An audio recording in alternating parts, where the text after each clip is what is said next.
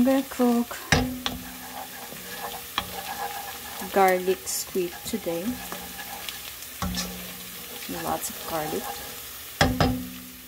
And I already marinated this squid.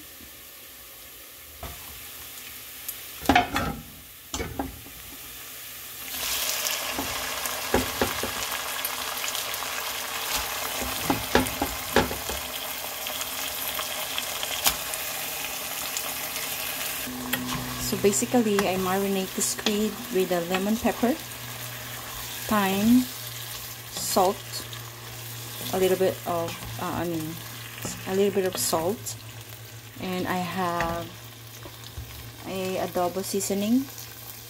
You can choose any, there we go, all-purpose adobo seasoning. You could choose any, any, any kind of all-purpose seasoning. I mean, even it's not all-purpose whatever you prefer.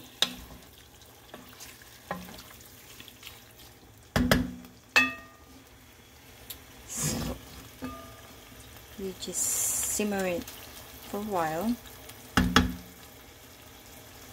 And we'll be right back. So guys, as you can see, it's boiling and our squid shrink already. Color change. So what we're gonna do, we're gonna boil it some more until we reduce the sauce. I didn't put any water here. The squid will uh, will make some liquid. It's it have natural liquid. So we'll reduce that. So probably um 15 to 20 minutes. I'll show you. Reduce. Oh wait, before I forget, we need I'm gonna add bay leaves.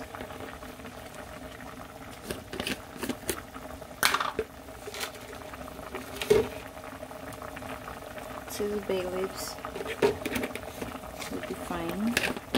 It will add aroma and flavor and cayenne pepper. I like it a little bit spicy.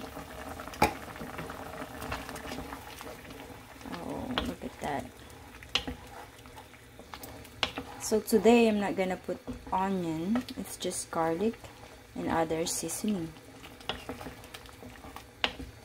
Norm, um, most of the time I put some tomatoes, but this time just as simple as that.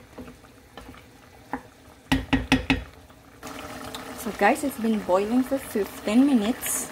As you could see, our squid already shrink and it's ready, cooked.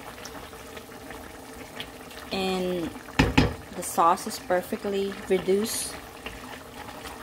And that's what we need just like that just a little bit of sauce. So the flavor it's there soaking in our squid. So basically a lot of garlic you're gonna saute it in um, oil.